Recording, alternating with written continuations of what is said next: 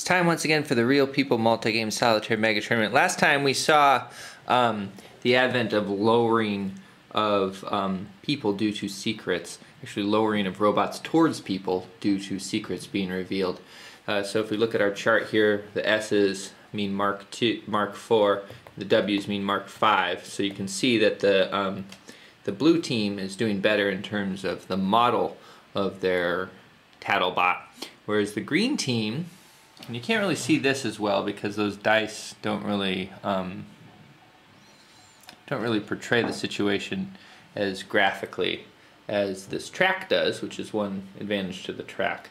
Um, but having eight on the track is is is a is a lot and can be kind of fiddly. Um, the green team is doing better in terms of energy.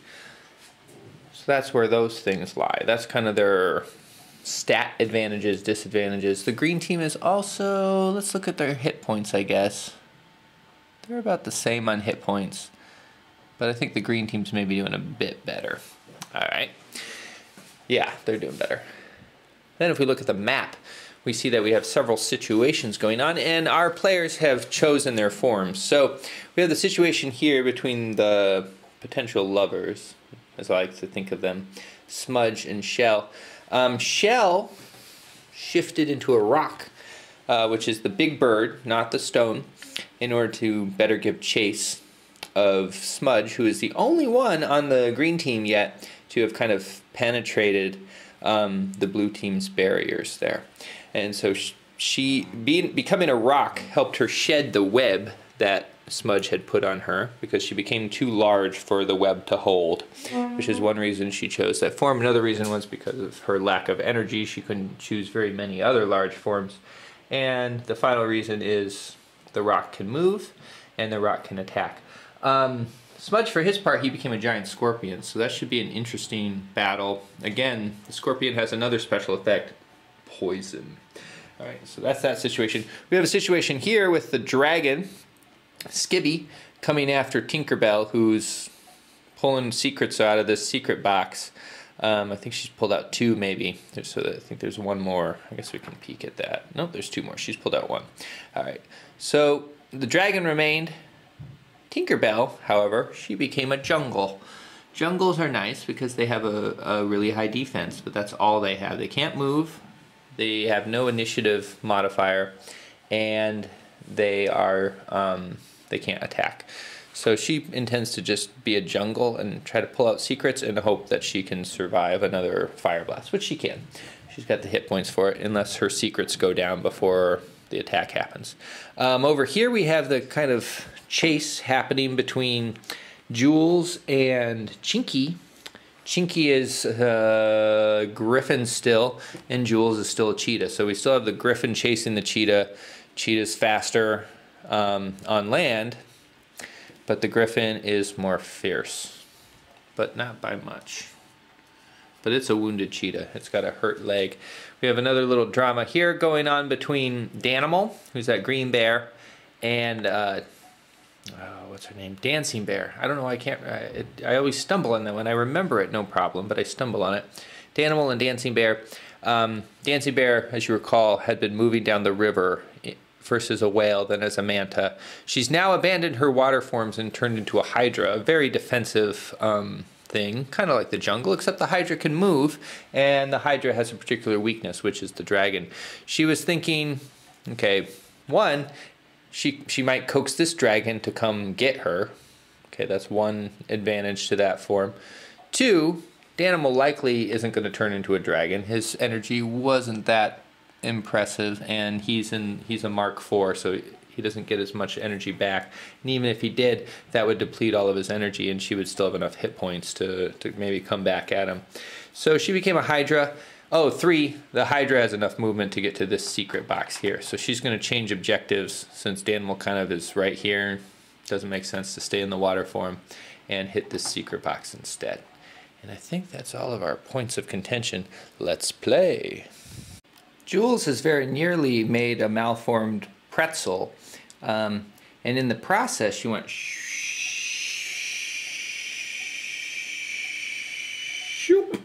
Um, in the process, she learned another one of the green team's secrets. So let's roll to see which one it is. This is going to be one of their, their closest to their heart secrets, which is either their secret fantasy or their unusual fact. Um, unusual fact comes up first, but if she's gonna if she rolls um, Chinky, it's going to be his secret fantasy. Five, that's a reroll. Four. So this is going to be Smudge. Let's figure out an let's find out an unusual fact about Smudge here. And that is saw myself this morning on a milk carton. So he feels lost. He feels like he's a lost child, and yet he's an adult. Hmm. That'll make Smudge our first player to become a thaumaturge, thaumaturge, thaumaturge, thaumaturge, uh, in shape, shapeshifter's parlance, which uh, translates to Mark III here. So his hit points went down to 10. He was at 14 before. His wisdom went down, battery went down, everything went down. He's definitely inhibited by that um, return to humanity.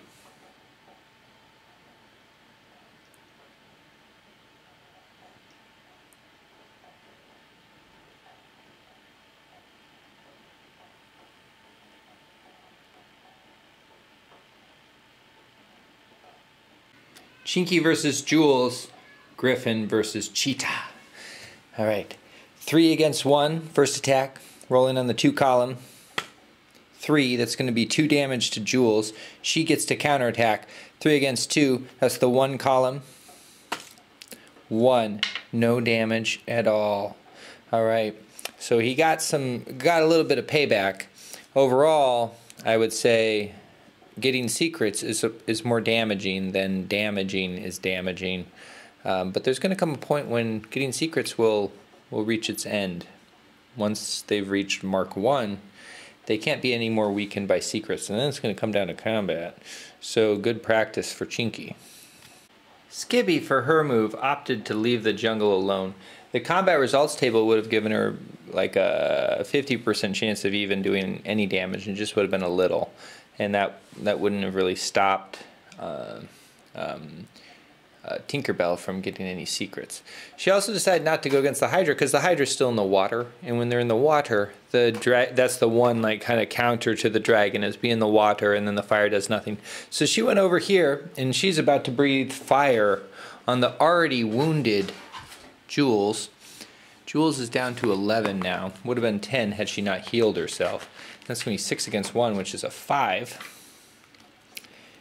So the most you can do is 7, the least is 4, which is still quite a bit. And she did 5. So that's going to take Jules down to 6 here. She's getting beat up, but she's getting plenty of secrets and um, occupying two forces of the four of the green team. The Dancing Bear Hydra is about to reveal Yet another secret from the green team. Let's see who is the lucky individual who will return to some of their humanity. It is Skibby. This is the first secret we found out about Skibby so far. Let's find out what she was like in high school. She was the worst driver in high school. She's been driving all right so far. Um, she got right to here, which wasn't bad. And she's exuberant, sincere, and fun. I think we can all say that is true about Skibby. Smudge had the option of attacking, but it would have been really hard to move around there, and I don't think he actually could have gotten there. So instead, he's revealing another secret. This one is Dancing Bears. So Dancing Bear is also going to become a thaumaturge and Mark III, and we are going to find out two more of her secrets. This is the first time we're going to find out about their personal motto and what they're most proud of. Her first her personal motto is follow your dreams. Whoops, sorry. I, I keep revealing things you shouldn't know. And her she's most proud of her flute playing ability. So she's a dancing flute playing bear that follows her dreams. Sounds like someone I would like to meet. And that's going to empty out this secret box. So we'll turn it upside down so we remember that. And after Danimal in Bison form, which I guess just should explain why he maintained bi- he went to Bison form instead of staying as a Rhino. Rhino's better, but he would his wisdom is less, so he didn't have access to other nodes as a Rhino because it would take him four to get to the the node changeover space, and then he wouldn't have any more to move. He's down to four now, so he moved to Bison. What it's also cheaper too, and felt like the attack's about the same. He's kind of on the attack more than on the defense. And so he went with Bison instead. But he stopped right here. No sense in charging the um, the Hydra because he wouldn't be able to damage it. That's where he is. Then that's going to leave our make it our jungle's turn, our jungle Tinkerbell. And so we get to reveal another secret. And this one is Danimals. All right, so Danimal, we're going to find out a bit about.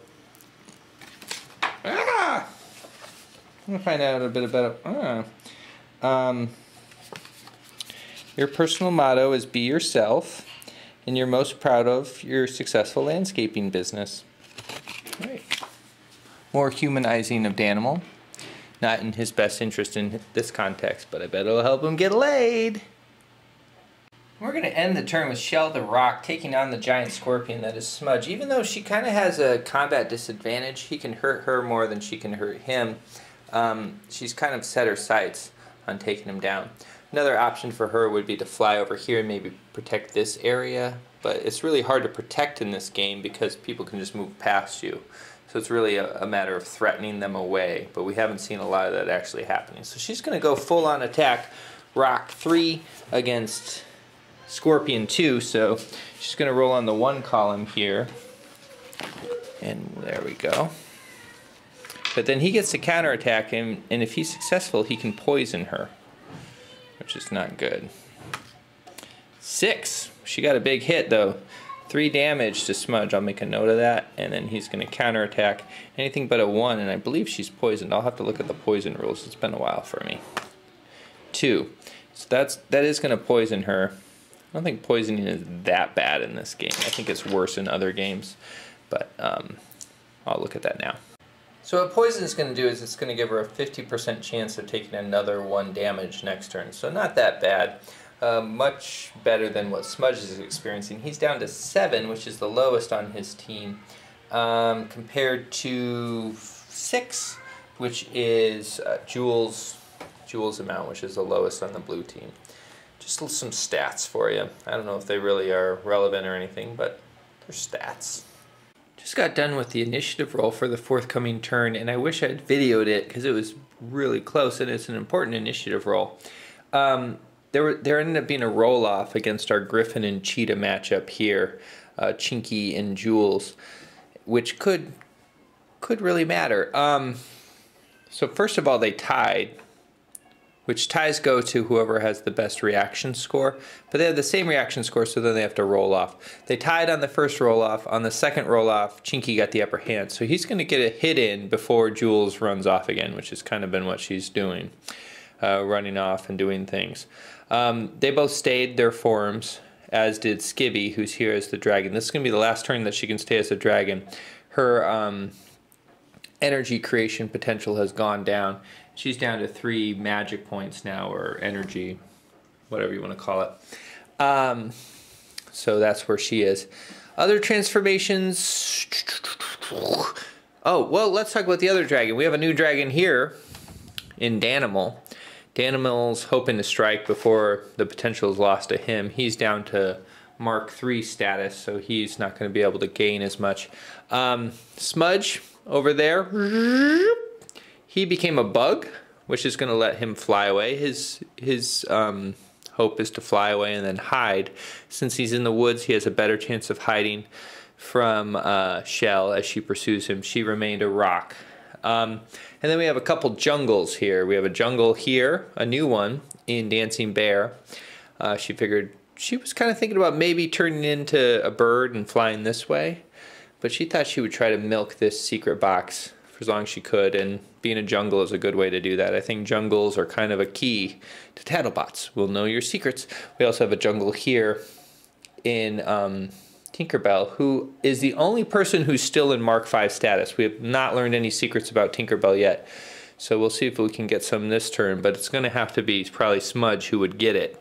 Um, and since he didn't, since he's a bug, he can maybe get a secret from that secret box yonder, or else make a make a dart towards the um, home secret base. But first, Chinky gets to attack, and Jules is going to get to a counter attack. So let's do the die rolls now for that. Uh, Chinky's rolling on column two.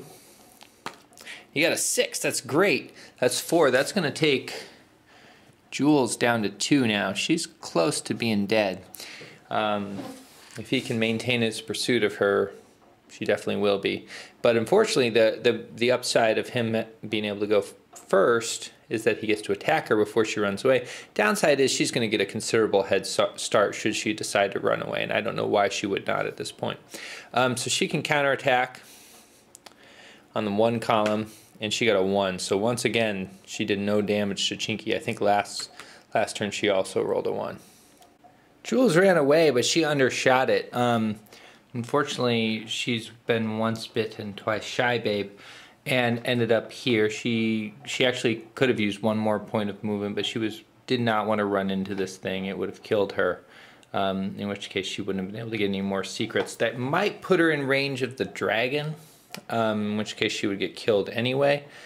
But then she'd bring the dragon away from everyone else. So that's not horrible, though she doesn't want to die. I should point out at this point that death does not mean you're eliminated from the tournament in this game. It's a team game, so if your team wins, you're going to move on to Kriegbot. Um, but it does mean that your team is down a member, which could mean your loss. The dragon Skibby was able to catch up uh, to Jules, and so Jules is going to be dead. Um, now, the dragon didn't even have to roll because the, the lowest damage she could have done is four, and Jules had two left, so that puts Skibby or that that puts Jules out of the game. Um, Jules can feel feel good about the fact that she did did quite a bit of damage to the other team in terms of discovering a lot of secrets and tying up their resources and kind of like keeping them from going out because they were so busy chasing her down for a lot of the time. But they were eventually successful, and that, that makes for a four on three game. Um, and the four has a bit more magic points than the three, even if they, well, maybe not. All these dragon transformations they just did kind of kind of wore them down. But it's still four to three, and now they're going to be able to turn their attention to these jungles that have been sitting here, taking their secrets, but not before the jungles get to take some secrets, if you know what I mean. Smudge the bug has made it to a secret box, but not before getting clipped by the secret box. He didn't quite get his movement down right, and so he's going to be rolling on the six column here He's got seven hit points left, so he's got a 50 50 chance of surviving. Rolling low is good for him and would reveal a secret for the, the blue team. This could um, really mean a lot for the game. If he's not successful here, the green team is going to be in big. No, the blue team is the green team. Yeah, is going to be in big trouble. And phew, that's lucky for Smudge and the green team. So he's going to go down to two. Which we saw how deadly that place can be in Jules just now, but he is going to reveal a secret, so let's see what he got. And that is one for Shell. Oh, oh my. How fitting. Shell is the one who is pursuing him in so many ways. Um, so let's take a look at Shell. We're going to find out a bit about her personal motto and she'd like to meet Phil Collins. So personal motto is eat fiber, exercise. Oh no, I'm, I'm not the personal motto, or not who she'd like to meet. Sorry. Um, she, her personal motto is to eat fiber, exercise, die anyway. She's got a sense of humor. She's most proud of Jesus changing her life into something beautiful. Jesus and Phil Collins. The, you don't know about Phil Collins, you only know about Jesus. She's more human regardless. And Shell pretty much copied Smudge's flight path with just a, a small alteration. Um, and so she's got a pretty good chance of beating him, taking him out of the game. If she gets anything but a 1, Smudge is wiped off. the board. And she got a six. She did it with gusto. She laid into him, so to speak. And Smudge is our second deceased player.